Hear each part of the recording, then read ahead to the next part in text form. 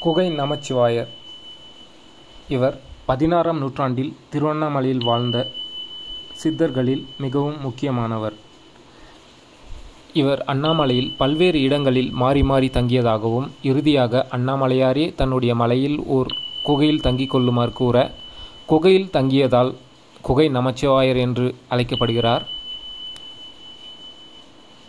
இவர் தானும் தன் சீடர்களும் குளிக்க நான்கு குளங்களை வெட்டினார் என்றும் அந்த குளங்கள் திருமுலைப்பால் தீர்த்தம் அருட்பால் தீர்த்தம் சங்கு தீர்த்தம் பாத தீர்த்தம் என்று அழைக்கப்படுகிறது. சீடர்கள். குகை நமச்சிவாயர் சுமார் முன்னூறு சீடர்களை கொண்டிருந்ததாகவும் கூறப்படுகிறது. இவர்களில் மிகவும் முக்கியமானவர்கள் விருப்பாட்சி தேவர் மற்றும் குரு நமச்சிவாயர்.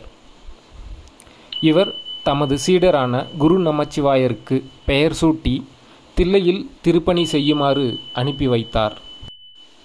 இவர் கர்நாடகாவில் கிபி ஆயிரத்தி ஐநூற்றி நாற்பத்தி எட்டாம் ஆண்டு பக்திமிக்க சைவ தம்பதியருக்கு மகனாக பிறந்தார். அவர் வாழ்க்கை வரலாற்றின்படி சிறு வயதிலேயே ஆன்மீகத்தின் மீது பற்று இருந்ததால் ஸ்ரீசைலத்தில் வாழ்ந்த புகழ்பெற்ற குருவான சிவானந்த தேசிகரிடம் இளமையிலேயே சீடராக அர்ப்பணிப்புடன் தன்னலமற்ற பக்தியுடனும் சேவை செய்ய தொடங்கினார். தனது குருவான சிவானந்த தேசிகர் கற்பித்த சிவயோகத்தை பல வருடங்கள் கடைபிடித்தார்.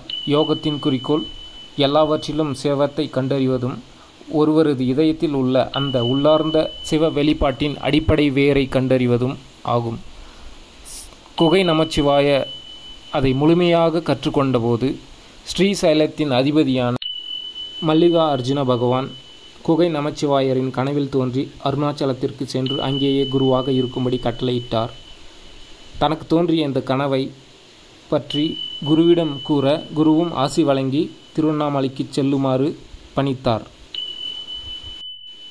தனது சீடர்களுடன் திருவண்ணாமலைக்கு குகை நமச்சிவாயர் சென்றதாக ஸ்தல புராணம் கூறுகிறது. அவ்வாறு வரும் வழியில் திருமண வீட்டில் எரிந்த பொருளை மீட்டு தருதல் சிவனுக்கு சூட்டிய மலர் மாலையை தன் கழுத்தில் விழும்படி செய்தல் போன்ற பல்வேறு அற்புதங்களை செய்து வந்தார். திருவண்ணாமலைக்கு சீடர்களுடன் வந்த நமச்சிவாயர் அண்ணாமலையார் கோயிலுக்கு சென்று அங்குள்ள அண்ணாமலையாரை வணங்காமல் இருந்தார். இதனை கண்டு சிவாக்கிர யோகி நமச்சிவாயரை பிரம்பால் அடித்தார். நமச்சிவாயர் சிவாக்கிர யோகியை தன் குருவாக ஏற்றுக்கொண்டு அவரை காணும் பொழுதெல்லாம் அன்பை வெளிப்படுத்தினார். இந்த ஜீவ சமாதியை தரிசிக்க வேணும்னா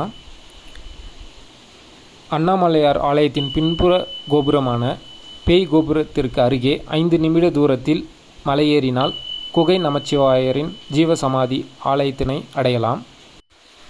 இவர் பல்வேறு நூல்களை எழுதியதாகவும் அவற்றில் பல சரிவர கிடைக்காமல் போனதாகவும் கூறப்படுகிறது. தற்போது குகை நமச்சிவாயர் எழுதியதாக கிடைத்திருக்கும் பட்டியல்கள். அருணகிரி அந்தாதி. சார பிரபந்தம். திருவருணை தனிவெண்பா. அண்ணாமலை வெண்பா. குகை நமச்சிவாயர் ஜீவசமாதியை பதினெட்டாவது வம்சாவளி வாரிசுதாரர் இப்போ பராமரிச்சிட்டு வராங்க. வருட வருடம் கார்த்திகை மாதம் வளர்பிறை சதுர்த்தி திதியில் பூராடாம் நட்சத்திரத்தில் கும்பலகணத்தில் குரு பூஜை இங்கு நடக்கும். கரெக்டாக சொல்லணும் அப்படின்னா நவம்பர் மாதம் பத்தொன்பதாம் தேதி இந்த பூஜை நடக்கும். சுமார் ஐநூறு ஆண்டுகளாக இந்த பூஜை தொடர்ந்து நடந்துக்கிட்டு வருது.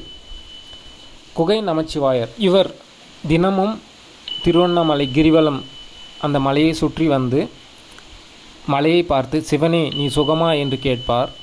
அதற்கு அண்ணாமலையாரும் ம் சுகம் சுகம் என்று இவருக்கு பதிலளிப்பார். இப்போ நம்ம திருவண்ணாமலை கோயில் அதுக்குள்ளே தான் நம்ம இருக்கோம். இந்த இடம் எங்கே இருக்குன்னா நீங்கள் ராஜகோபுரத்தில் உள்ள நுழைஞ்ச உடனே உங்களுக்கு இடதுபுறமாக அருணகிரிநாதருக்கு முருகன் காட்சி அளித்த அந்த கோயில் இருக்கும் இல்லையா? அந்த சன்னதி. அதுக்கு பின்புறமாக விநாயகர் சன்னதி இருக்கும். அதுக்கும் அடுத்ததாக நந்தி பகவான் இருப்பார். அதுக்கு இடதுபுறமாக இந்த இடம் இருக்குது இங்கே தான் கொஞ்ச காலம் குகை நமச்சிவாயர் வாழ்ந்ததாக சொல்லப்படுது. இந்த ரூம் இங்கேயும் கொஞ்ச நாள் முன்னாடி குகை நமச்சிவாயர் இருந்ததாக அங்கே மென்ஷன் பண்ணியிருந்தாங்க. பட் இப்போது அது பெயிண்ட் அடிச்சுட்டு அதை எடுத்துட்ருக்காங்க. நீங்கள் கோயிலுக்குள்ளே போனால் தரிசனம் செஞ்சுட்டு மட்டும் வராமல் இனிமேல் இங்கேயும் ஒரு ஐந்து நிமிடம் தியானம் செஞ்சுட்டு குகை நமச்சிவாரையை நினச்சி தியானம் செஞ்சிச்சு. உங்களுக்கு ஏதாவது வேண்டுதல் இருந்தால் அவர்கிட்ட ஒப்புவித்து விட்டு வரணும்னு நான் கேட்டுக்கிறேன். இந்த தகவல் உங்களுக்கு பயனுள்ளதாக இருந்தால் இந்த சேனலை சப்ஸ்கிரைப் பண்ணி பெல் பட்டனை கிளிக் பண்ணுங்கள் கைண்ட்லி டூ சப்போர்ட்டர்ஸ் ஓம் நம சிவாய.